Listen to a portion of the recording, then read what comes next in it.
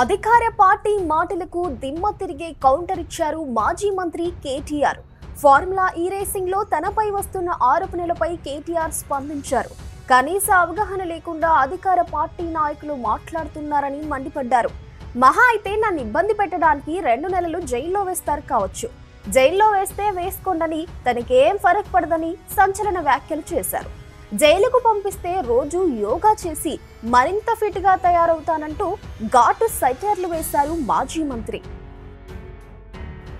ఇలా రాసింది ఇంకో paper KTR target target KTR. Target ఉండాలి ఆరు గ్యారెంటీలు అమలు. టార్గెట్ ఉండాలి రైతుల వడ్ల కొనుగోలు. టార్గెట్ ఉండాలి రైతులకు రైతు బంద్ వేసుడు. టార్గెట్ ఉండాలి చెర్లల చేప పిల్లలు వేసుడు. టార్గెట్ ఉండాలి దళిత బంధు లబ్ధిదారులకు మిగతా పైసలు ఇచ్చుడు. టార్గెట్ ఉండాలి స్కూటీలు ఇచ్చుడు. టార్గెట్ ఉండాలి లగ్గం చేసుకునే పిల్లలకు తులం బంగారం ఇచ్చుడు. టార్గెట్ గురుకులాలు మంచిగా చేసి ఉండాలి. టార్గెట్ ఓవర్సీస్లో ఇవాళ రెండో విడత స్కాలర్షిప్ రాక అవస్థలు పడుతున్న పిల్లలకు స్కాలర్షిప్ మీద ఉండాలి. టార్గెట్ కేటీఆర్ కాదు. వేస్తే వేసుకో ఉత్సా నాకేం ఫరక పడేదేం లేదు. ఓ రెండు నెలలు మూడు నెలలు నువ్వు జైల్లో పెట్టి పైశాచికానందం పొందుతా అంటే నాకేం అభ్యంతరం లేదు. మంచిగా పోతా యోగాగిగా చేసుకొని ట్రిమ్గా వస్తా పాదయాత్ర ఎక్కుతా. కాబట్టి నేను భయపడేటోని కాదు మేము ఎవ్వరం భయపడేటోళ్ళం కాదు. ఈ ఉడత ఊపులకు ఈ హౌలహౌల మాటలకు ఎవడు భయపడడు? రేవంత్ తెలుసుకో. గాసిప్స్ పక్కకు పెట్టి గవర్నెన్స్ మీద దృష్టి పెట్టు. కొద్దిగా సిగ్గు తెచ్చుకో. హైదరాబాద్ ఇమేజ్ నీ చర్యల వల్ల దెబ్బతింటున్నది. ఇంకా కూడా ఇట్లా చేస్తా అంటే నీ కర్మ ఇంతకంటే నేను చెప్పేది లేదు. Thank you formula E racing కోసం కేటీఆర్.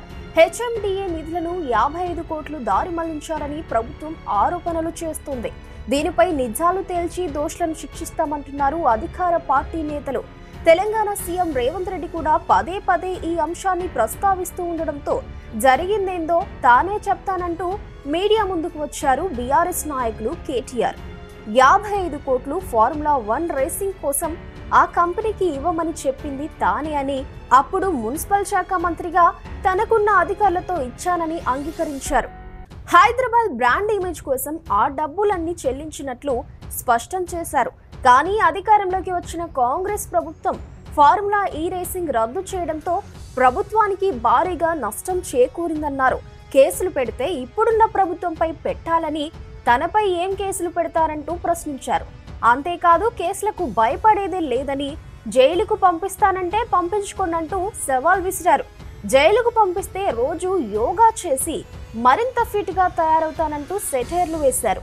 జైల్లో ఫిట్నెస్ పెంచుకొని బయటకు వచ్చి పాదయాత్ర మొదలు పెడతానని ప్రకటించారు. తనపై వస్తున్న ఆరోపణలకు గట్టి కౌంటర్ ఇచ్చిన కేటీఆర్ జైలుకు వెళ్తే తనకే సింపతి పెరిగి పార్టీ మరింత పటిష్టమవుతుందని అనుకుంటున్నట్లు సమాచారం. వచ్చే ఎన్నికలకు ఇప్పటి నుండి కేటీఆర్ మాస్టర్ ప్లాన్ వేసుకొని సరైన అవకాశం కోసం ఎదురు చూస్తున్నట్లు బీఆర్ఎస్ పార్టీ వర్గాలు అభిప్రాయపడుతున్నాయి.